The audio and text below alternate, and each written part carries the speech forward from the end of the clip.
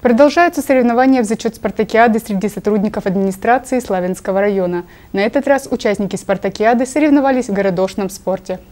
Городки – это игра очень давняя, даже старинная. Ее история уходит корнями вглубь столетий. Упоминания об игре в городки есть в различных документальных свидетельствах. И совсем не случайно городки считаются частью нашей спортивной культуры. 11 команд приняли участие в этих увлекательных состязаниях, которые прошли на территории Славянского скейт-парка. Это довольно-таки старинная игра. Со временем как-то получилось, наверное, в мире, что под подзабылись эти варианты. Но мы пытаемся это сейчас все возобновлять, как бы воссоздать это все, все эти вещи. Потому что э, хочу сказать, что э, позапрошлом году даже, э, по-моему, в станице Старотитаровской я был, да, был на открытии площадки. То есть э, люди возрождают, люди строят площадки. У нас тоже в перспективе заложено строительство городошной площадки. В игре в городки нужно с заданной дистанции выбить прицельным броском биты так называемые городки, специальные фигуры, сложенные особым образом.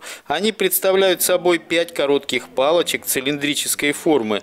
Количество выкладываемых фигур составляет всего 15. Участники соревнований, а многие из них впервые взяли в руки городошную биту, старались как могли. К эмоциям этим положительным мы вернулись к нашей физической подготовке. Ну а что касается выступления команды, да, выступили, выступали первыми и пока что взяли максимальное количество очков. А э, так, сама игра, конечно, увлекательная. Можно проводить время не только с коллегами, но и с семьей в домашних условиях. Ничто этому не мешает. В итоге удача улыбнулась самым метким и обладающим отменным глазомером. Победила команда Главы, на втором месте команда Повелители стихий и замыкает тройку призеров команда Нива Кубани. Андрей Вишневский, Георгий Калинин, программа «События».